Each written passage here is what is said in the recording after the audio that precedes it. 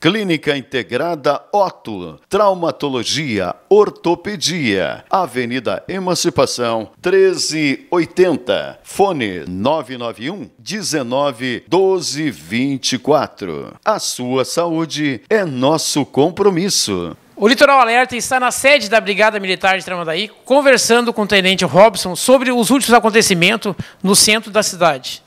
Tenente, Uh, nos últimos dias, né, nos últimos 15, 20 dias, a gente tem uh, averiguado alguns fatos em relação à briga no centro de Tramandaí. Uh, realmente, uh, nós já identificamos através do nosso sistema de inteligência, estamos fazendo uma operação diariamente na área de Tramandaí, próximo à Praça da Tainha, onde identificamos em torno de três uh, brigas, né, desordens entre entre indivíduos, pessoas ali que nós identificamos que saem dos bares em torno das 4 horas da manhã e entram em vias de fato e também em lesão corporal. Tenente, nesse uh, última segunda-feira uh, aconteceu até uma tentativa de homicídio ali na, na Avenida Fernandes Basso, né, próximo a esses bares aí que o senhor falou agora. Uh, esse caso, a brigada, o que, que aconteceu nesse dia? Bom, nesse caso aí, que foi agora dia 14, né, que você está falando, é, a Brigada Militar foi acionada, chegando no local, é, se deparou com um indivíduo caído ao chão, já com um ferimento, com traumatismo craniano, né, e foi conduzido ao hospital da cidade.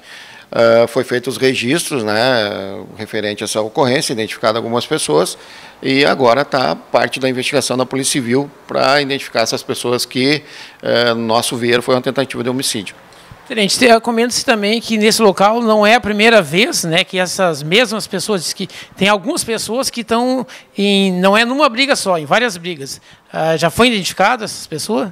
É, realmente a gente já identificou uma das pessoas ali que esteve em duas brigas, né? Então por isso que a gente já está achando que é uma rixa entre eles, né? Então a gente já está fazendo essa operação uh, diariamente, em todos os turnos da, da, da, do dia, né? 24 horas, uh, principalmente na parte da noite e finais de semana. Então, se você perceber, ali na praça vai ter sempre uma viatura ali uh, fazendo abordagem e também nos bares ali ao redor da Emancipação em Fernandes Bastos. Esse trabalho está sendo feito todos os dias? Que hora que começa esse tipo de, de serviço pela Brigada Militar? O, como a gente identificou que é a parte da noite, as brigas, a gente começa a partir da meia-noite, uma hora da manhã, a gente começa esse trabalho ali na praça. Né? Além dessas brigas, também tem ah, alguns andarilhos né, que, que frequentam aquela praça ali e até tráfico de droga também. Há poucos meses atrás a gente verificou, né, através uh, do nossa no nosso programa, né? E diminuiu de lá para cá? Como é que está o tráfico de drogas ali nessa praça? Bom, os andarilhos né, é um problema social que a gente enfrenta aqui no nosso município. A gente identifica a pessoa, mas como não tem nenhum tipo de pedido pela justiça, ou se estiver foragido, ou tem alguma parte criminosa, a gente não pode fazer nada, né? A não ser a a, a condução à assistência social. Quanto ao tráfico de droga, a gente já identificou o local, já efetuamos prisão ali naquele local do, do, do traficante ali que estava ali e acreditamos que tenha caído um pouco a demanda desse tráfico de drogas que houve há, há dois meses atrás ali. Tenente, nesse caso aí, como é, é área central, né, ah, se tiver uma família por perto dessas brigas que estão acontecendo, o que fazer nesse momento?